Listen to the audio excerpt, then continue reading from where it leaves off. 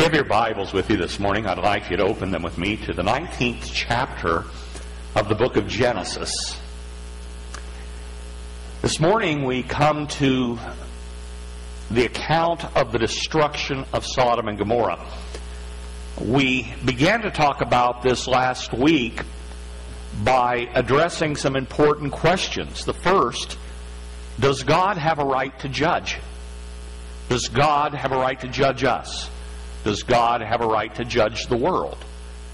And I hope we discovered that He not only has the right to do so, uh, He has the responsibility to do so. If He ceased to be just, He would cease to be good. And if God has no outrage at sin and evil, then He's not good. And we also talked about the fact that God exercises his right to judge. The Bible tells us he does it every day. We don't know. Uh, we're not prophets. Uh, we don't have prophets to explain to us this or that event, either in a person's life or in the happenings among the nations. Uh, nevertheless, the Bible assures us that God is active. The difference between what happened in Sodom and Gomorrah and perhaps some act of God's judgment that is falling at this very hour, is God told Abraham what he was about to do and why he was going to do it. And this led to another question we answered Is God just when he judges? Does he judge the wicked and the guilty? Uh, does he somehow rain fire from heaven in an indiscriminate way and look upon some who are really not worthy of that judgment as nothing more than collateral damage.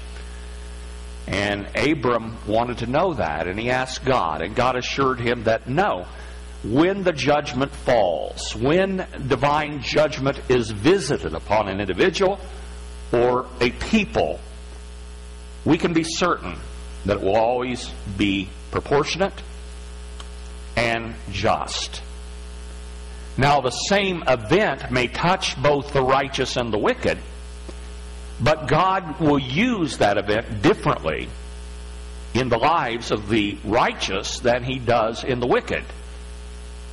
In the lives of the wicked is judgment. But in the life of a righteous person, that which is judgment for the wicked may actually be used by God. Actually, it will be used by God for good uh, we left off there because Abram left off there. Uh, he understood that God had the right to judge, and he came to understand that God would be right when he judged. But he was concerned about Sodom and Gomorrah because he had family there.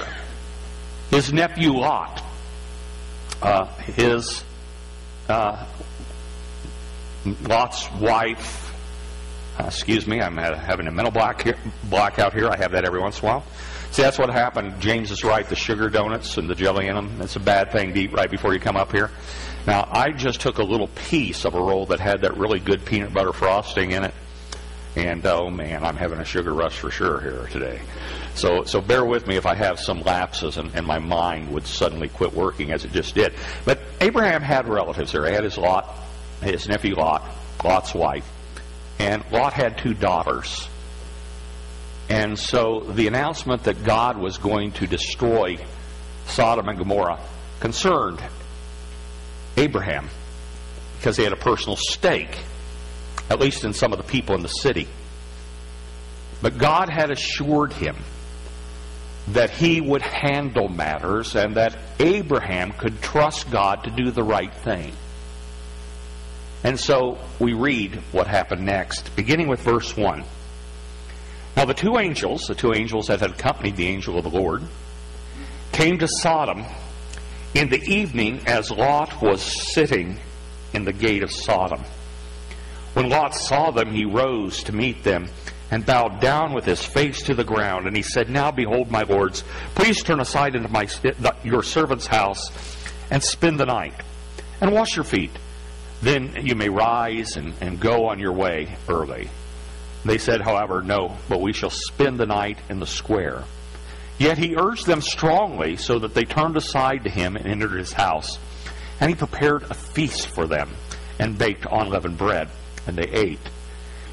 Now, before they lay down, the men of the city, the men of Sodom, surrounded the house, both young and old.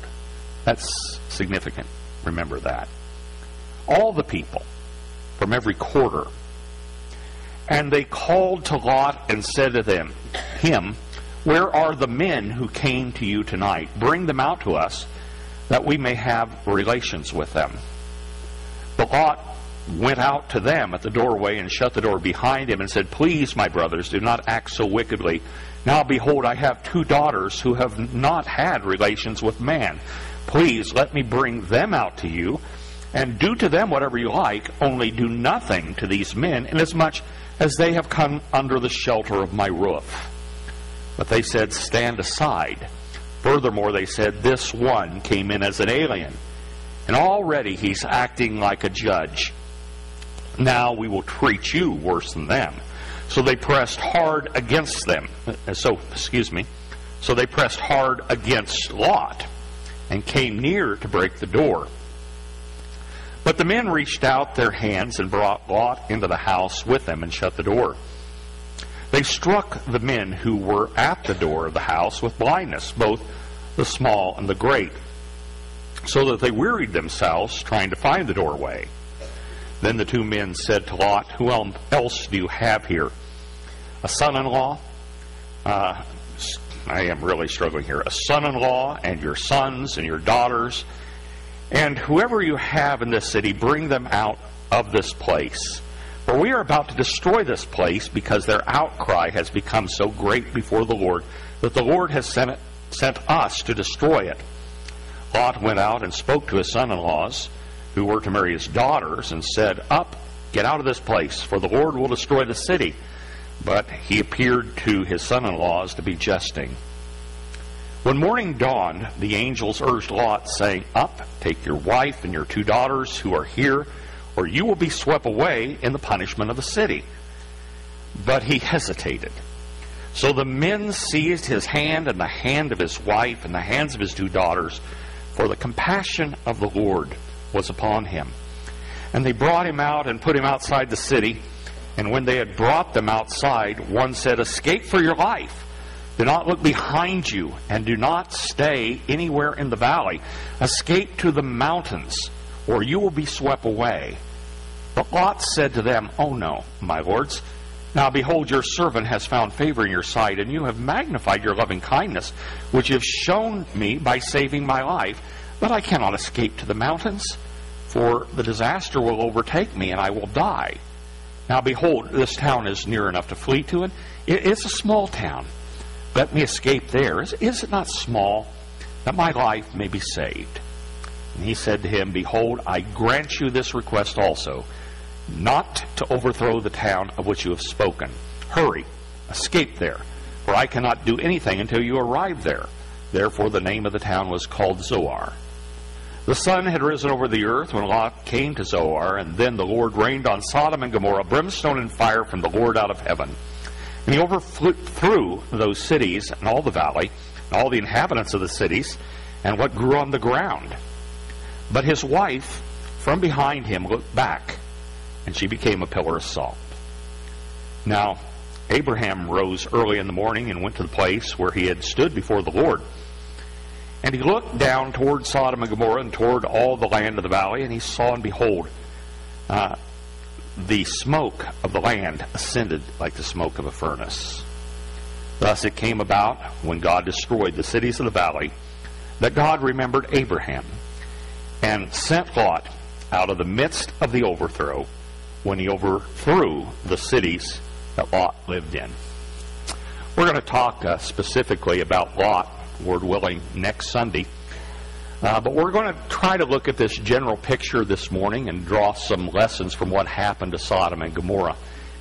Uh, pardon me for my reading. I don't know what was wrong today. I was not reading well. I hate that. I, I love to try to read the scripture well. Uh, sometimes if I read the scripture well, even if I blow the sermon, you get something then.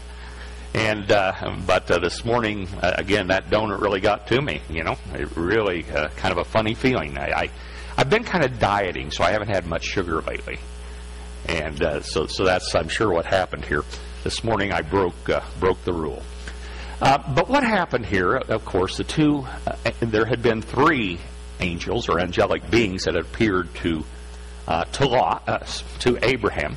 One of them was the angel of the Lord. We know the angel of the Lord to be not an angel, not a created being, but the ultimate messenger of the Lord, uh, the Lord Jesus Christ. Uh, he often appeared in the Old Testament in the form of the angel of the Lord. And so the angel of the Lord is the one who talked with Abraham and explained to him in detail what he was going to do and assured him that he could trust God to be just in the judgment that was about to fall on these cities. It was late in the afternoon, apparently, when uh, these two angels that had accompanied the angel of the Lord arrived in Sodom. And it was an ordinary enough day. Uh, no doubt people had uh, got up that morning and prepared their breakfast, and they had gone about business as usual throughout the day. There were no doubt weddings that were being planned. In fact, Lot's wife was probably in the middle of wedding preparations uh, because the two daughters of Lot had become engaged to two men there in Sodom. And uh, so preparations for a wedding were being made. Uh, Lot was sitting at the gate of the city, and that tells us something because we know that this is where legal business was done. This is where the judges and the men of importance sat and rendered judgment in civil matters. And the fact that Lot was sitting there indicates that he had probably become a, a, a player in the local politics of Sodom. He was apparently a man of, of some influence, perhaps even a judge. And later, uh, when they're attacking Lot, they're going to say, you, you came in as, a, as an alien, and you're already judging us. And this may be reference to the fact that, that he had become so respected in the city that he had become a judge. And that perhaps was due to the fact that his uncle Abraham had saved the city of Sodom and Gomorrah uh, when it had been attacked and conquered uh, by kings from the north. Uh, the entire population had been taken captive and were going to spend the rest of their days as slaves. And suddenly, Abraham and his friends and his servants fell upon the armies from the north and they defeated them and they rescued all of the hostages. And because of, of Lot's relationship to Abraham, it's, it's very likely that that gained him some notoriety and some status, some status there within the city of Sodom. And as he sees these two strangers come to town, we have an indication that Lot was a righteous man. Now, in the book of Jude, and we're going to look at that some next week, it actually says he was a righteous man. When you look at what he's doing here and what you're going to see him doing in the passage we're going to look at next week, you might say, I don't think he looks very righteous. Uh, but to someone living in the ancient Near East, reading the book of Genesis for the first time, they would see Lot's reaction to the sight of these two angels as an indication that Lot was a good and righteous man. Because hospitality is a big deal in, in the Middle East to this day. And particularly so in ancient days. Uh, this is one of the things we mentioned a few weeks ago that when Abraham saw these angels, he had the same reaction. He immediately got up and ran to them and fell on his face before them and pleaded with them for the privilege of showing them hospitality. And we see the same thing from Lot. And so someone reading this would say, There is a righteous man in Sodom. Here is a man who, like his uncle Abraham, is pleading for the privilege of showing hospitality. Uh, two strangers have arrived, and he is begging them uh, to come to his house uh, so that he can wash their feet. Now, this would not have been Lot's job. No doubt a servant would have handled this task. But he, he would show them hospitality. They would stay the night, and then they could continue on in their journey the next day. Might also have been true that Abraham feared uh, for these men. He knew the city he was living in, and he might well have known uh, that if he did not show these men hospitality, they would indeed have to stay in the city square, and they would be unsafe there. There certainly seems to be an urgency as Abraham is, is entreating them to come to his house. And they're resisting. They're saying, no. What am I saying? Uh, it, could it be that you're hearing me wrong? Okay. We're talking about Lot. Abraham's up in the hills. Okay.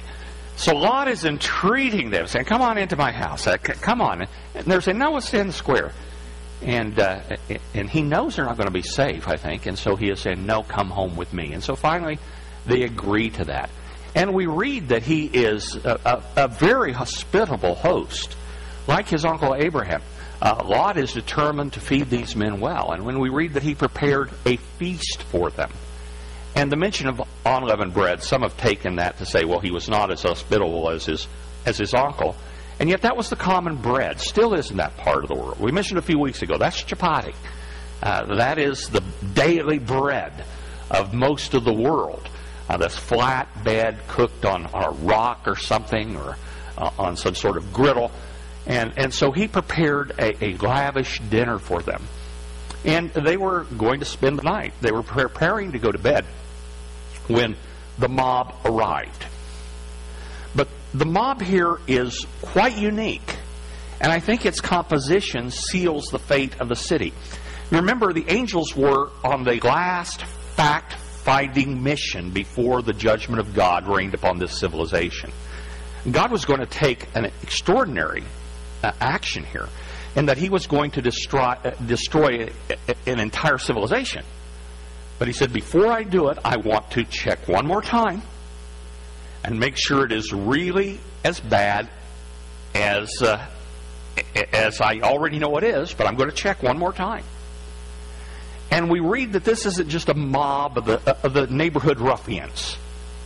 This isn't just a group of, of ne'er do wells out looking for trouble. Uh, not a group of people that have been inflamed in their passions by some movie depicting their prophet in an unfavorable light. Uh, the whole city turns out. And we are told that it's the young and the old. And what we need to understand by that, it isn't just the adults, it's the kids. Sodom has become a place in which evil is being manufactured generation after generation. And they're showing up uh, to commit a horrid sexual crime. And the whole city has turned out to enjoy or to participate in the spectacle. And so, what we are seeing here is just what a wicked place Sodom was. Everyone in town is corrupt, even the young. Uh, the virus of wickedness has spread throughout the entire body of Sodom. Now, we live in a day and age in which it's politically incorrect to talk about the sin that was committed there. If you watch these goofy shows, you know, the mysteries of the Bible or something, they'll say that the sin of Sodom and Gomorrah was that they were not hospitable. Well, I will agree that homosexual rape is not a hospitable act. But when you read the Bible, it says that these men not only were inhospitable, it talks about them in Ezekiel, but they committed abominations before the Lord. Uh, I have a lot of old commentaries, and it's amazing how discreet they are in even talking about this sin. They say, boy, we live in a different age. Within 50 years, we've gone from uh, discretion to absolute brazenness. And it, one, one of the uh, passages in the Bible uh, condemns Sodom, and it's actually condemning Israel. It says, You guys are just like Sodom in that you display your sin and you're not ashamed of it. And here you see that. This is a sexually corrupted civilization. Perversion. And they saw these two angelic beings. They thought they were good looking young men. And they intend to perform gang rape on them and enjoy the spectacle. All the people from every quarter, it says, gathered. Now, you have to understand what Lot did next. You see, he went out and said, Don't do this. And you say he's going to give his daughters to the mob and say, Rape my daughters instead. Uh, yeah, that, that's horrid, and it shows how much perhaps Sodom had gotten into the heart of, of Lot, but it's actually in keeping with Middle Eastern custom. And that's what he's saying. Don't do this. Take my daughters instead, because these men have come under my ha- house, under the, my roof. And what he is actually trying to do is implore them and say, What a wicked thing.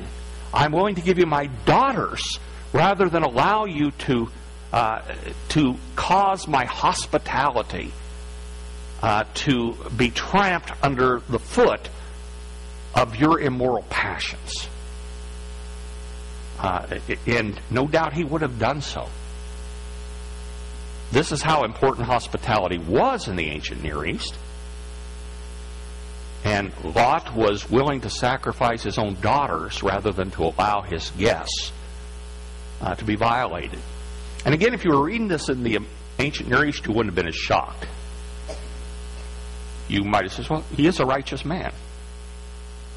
I uh, say, really, they're that much different than us. Yeah, they really were. Uh, aren't you glad, ladies, that you weren't born in that era? Uh, we have a lot of things we can be thankful for, and, and that surely is one of them. Uh, but they're not interested in that, and they, they turn on Lot at this point in time, and, and they say, you know, you came in as an alien, already you're judge. We're going to treat you worse than they, we were going to treat them. And, and the scene is they attack Lot, and they begin to push on Lot up against that door. And they're pushing so strong, the door's about to break.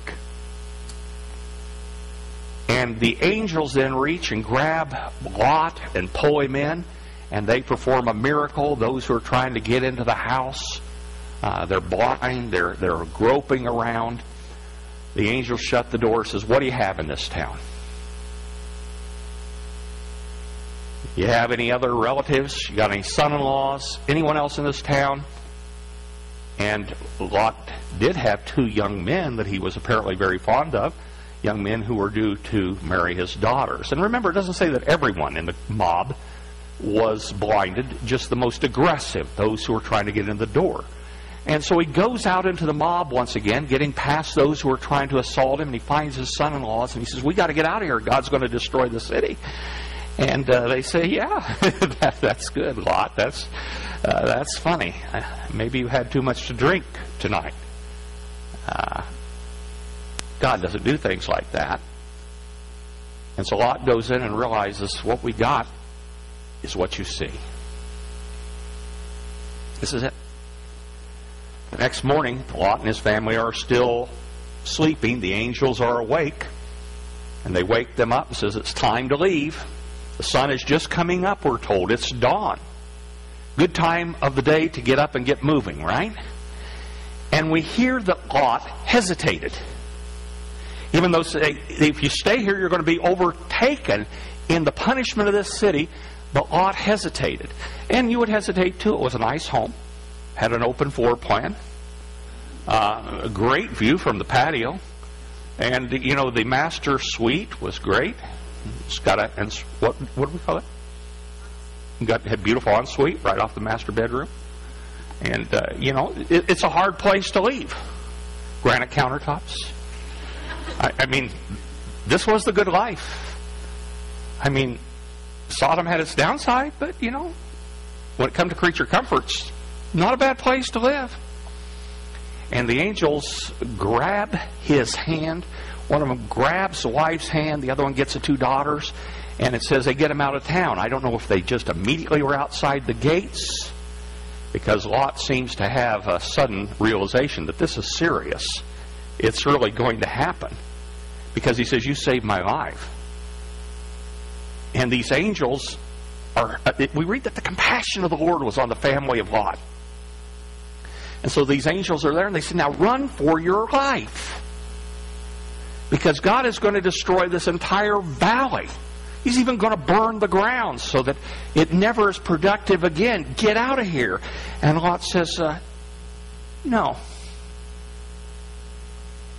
I, to me, I, I, read that and I find that amazing. Uh, he, he is, you know, almost assaulted himself the night before. Angels take him outside. He now has come to believe that indeed the city is going to be destroyed. Uh, and, and they say, get, get to the mountains. He says, no, I can't do that. It's not me. I'm kind of a city boy. I don't know if I'd make it in the mountains. Now, uh, one of the cities here, there are five cities on the plain, and, and that one over there, it's really small. You know, let me go there. And the compassion of the Lord was upon the family of Lot, really for the sake of Abraham. And the angel says, okay, but get there quickly because I can't touch this place until you're there. And we read that it was about noon then when Lot finally stepped foot inside of Zoar. And suddenly the fire of God fell on the entire valley and wiped it out. So that uh, the smoke of the destruction of Sodom and Gomorrah could be seen from a distance by Abraham the next morning.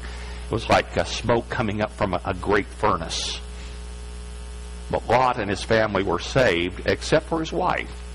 And we read that she looked back. The angel said, Don't do it. He said, Don't look back. Just get out of town. If you look back, you're going to be overcome. And the idea of looking back here, uh, from what I read, it can mean more than she was just glancing over her shoulder. It, it really kind of has the idea that she was looking and maybe thinking, I'm going to go back. This is foolishness. when suddenly she was overtaken and whatever the destruction was, and you can read the commentaries on, on how God may have used natural forces here uh, to cause this event. Uh, they, by the way, think they found Sodom and Gomorrah. Some and uh, the archaeological ruins are just like it's described in the Bible. Uh, fire that began on the roof of the houses and burnt them all down, and even fire on the ground. It was a, a terrible cataclysmic judgment that fell on these cities. And uh, through something, the force of the explosions or whatever, Lot's wife was covered with salt and turned into a pillar of salt. And a lot of the ancient historians say, I've been there and seen it. Well, we don't know if it was the actual pillar of salt or people are saying, yeah, there she is. But uh, what a story. What are we to make out of this? Uh, what are our applications for today? You know, Jesus actually gave us some applications from this story. And I think, uh, you know, if we're going to look at something like this and say, what should we take away from it? If Jesus talked about it, that'd be a good place to look, don't you think? Turn to the 17th chapter of the Gospel of Luke.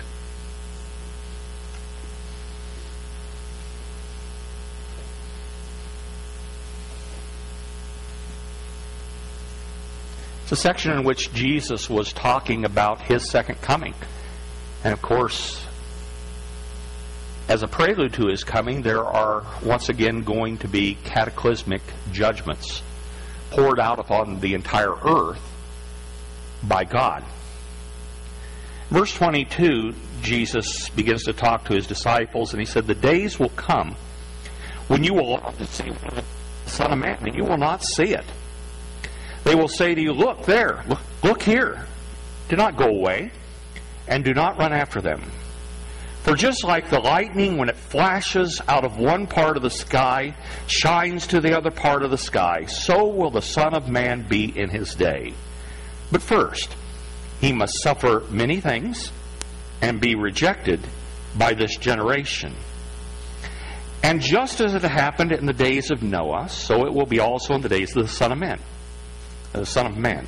They were eating, they were drinking, they were marrying and giving in marriage until the day that Noah entered the ark and the flood came and destroyed them all. It was the same as happened in the days of Lot. They were eating, they were drinking, they were buying and selling, they were planting, they were building. But on the day that Lot went out from Sodom, it rained fire and brimstone from heaven and destroyed them all. Will be just the same on the day that the Son of Man is revealed. On that day, one who is on the housetop and whose goods are in the house must not go down to take them out. And likewise, the one who is in the field must not turn back. Remember Lot's wife. Whoever seeks to keep his life will lose it. Whoever loses his life will preserve it. I tell you, on that night, there will be two in one bed. One will be taken, the other left. There will be two women grinding at the same place. One will be taken, and the other left. Two men will be in the field. One will be taken, and the other left. And answering, they said to him, Where, Lord? And he said, Where the body is, there also the vultures will be gathered. Jesus uh, references Sodom and Gomorrah here. A lot of people say his point is simply that the Son of Man is going to come. He is going to return at a time when people are unexpected and they're not looking for it. Because that seems to be the point with both uh, the days of Noah, excuse me, and the days of Lot. I think there's more to it than that. Because in both cases, they should have known the judgment was coming, and they didn't. It is not just that they were indifferent, they were not expecting Christ to return. It's that they were not uh, anticipating that there would ever be anything to change the status quo. Uh, they were comfortable with their sin, and Noah's message that God was going to send a flood that would destroy the world was easily brushed off. And Lot's warning to his son in law, his son in laws, that there was going to be a judgment that would destroy the city was laughed off. But in both cases, these civilizations were so incredibly corrupt. How could they not know? How could they be in blind indifference? Did they think there is not a God? Uh, did they think there was not a God who was indignant with human sin? Did they think God did not care? Did they think God would allow them to go on forever mocking his righteousness? Destroying the righteous? They should have known. But they didn't. Uh, and so what did they do? Things people do every day. Another day, we're going to do the things we do. If we plant or sow, we're going to do that. If we do commerce, we're going to do that. Lot's wife making wedding preparations and looking forward to the big day. And it's all just going to continue on like it is forever. And I think Jesus' point here is how could they be so blind and indifferent? How could they think that they could get away with what they were getting away with? I think of what Paul wrote Be not deceived, God is not mocked. Whatsoever a man sows, that shall he also reap. And the same is true of civilizations.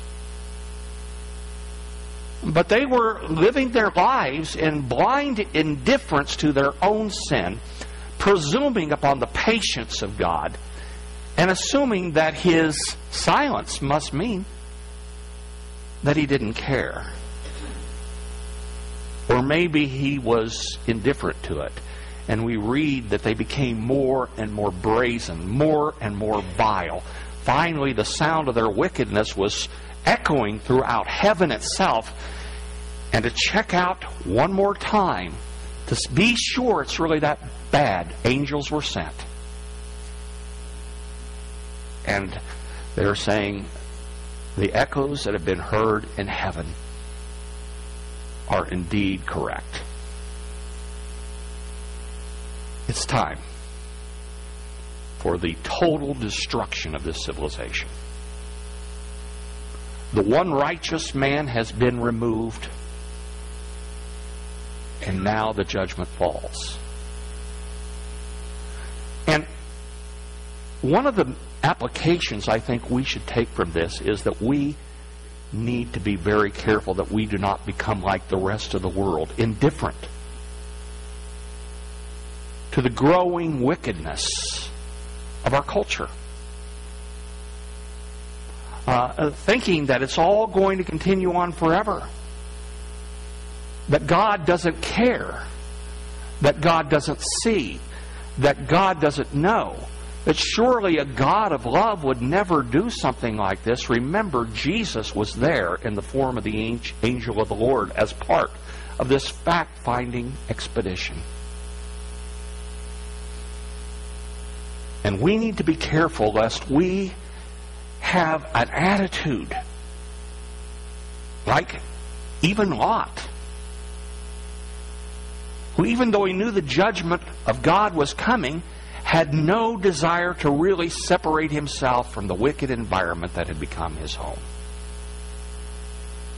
He was a righteous man who had, had become comfortable living in a godless society.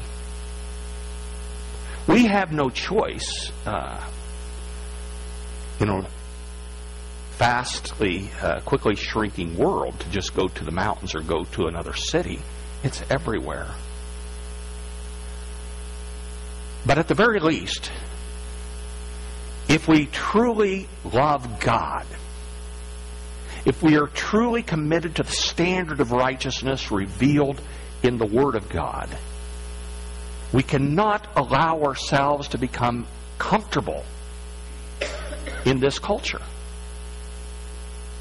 Peter wrote to Christians living in an equally corrupt culture in the day uh, in his day, Rome, people living in Rome.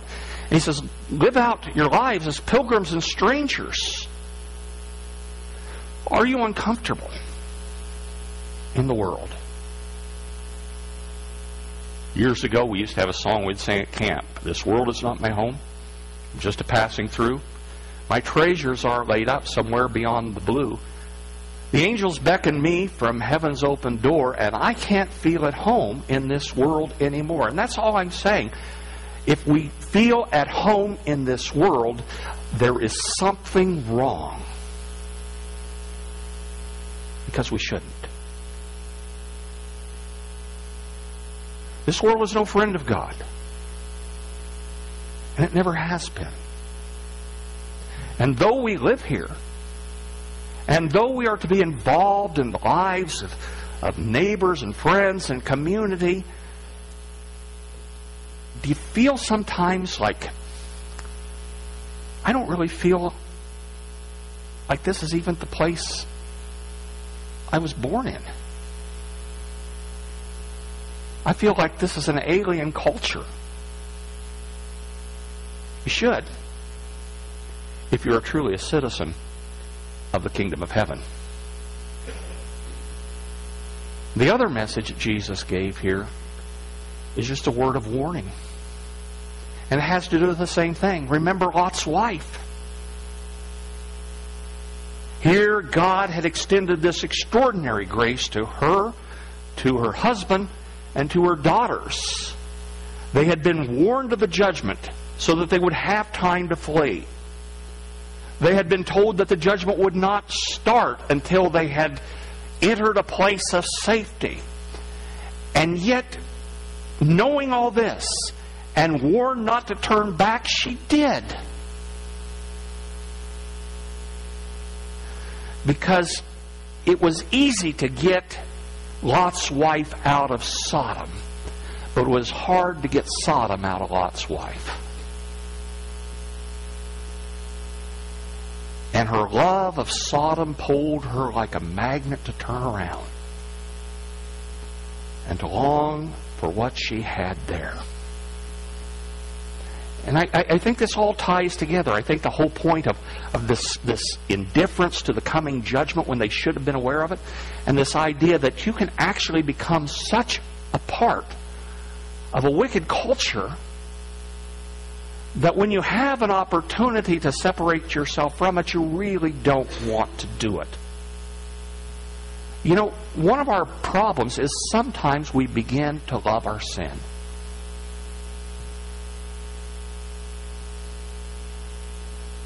And we really don't want to turn away from it.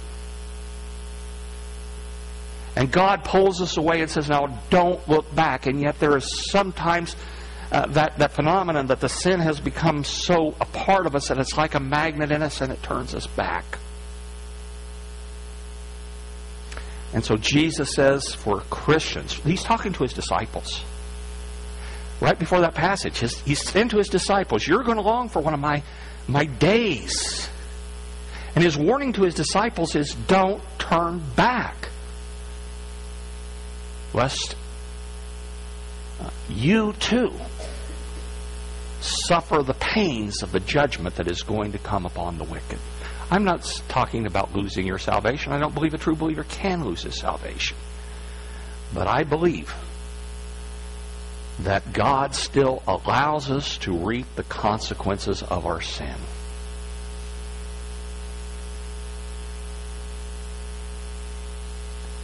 And Lot's wife turning around in love with Sodom reaped the consequences of her sin. She too was destroyed in the destruction of the wicked. A warning by Jesus to his disciples remember her.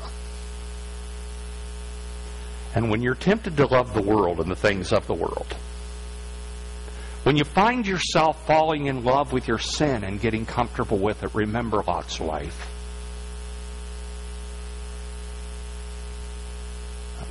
Be not deceived.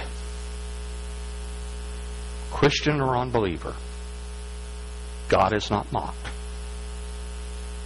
Whatsoever a person sows, that will that person also reap. Father, thank you for the warnings of your word. There are parts of the Word of God that give us great comfort, and we thank you for those. This is one of those uh, parts of the Word of God that doesn't really make us comfortable, uh, but we need that too. Uh, we need to know that you are not a God to be trifled with, and that sin is not something to be played with, and that the wickedness of our culture is not something that we as Christians should ever become a part of because we are citizens of the kingdom of God, purchased with the blood of your Son. So, Father, create in us a homesickness for heaven and cause us to increasingly become uncomfortable with anything less than the kingdom of God, our home. We pray this in Jesus' name. Amen.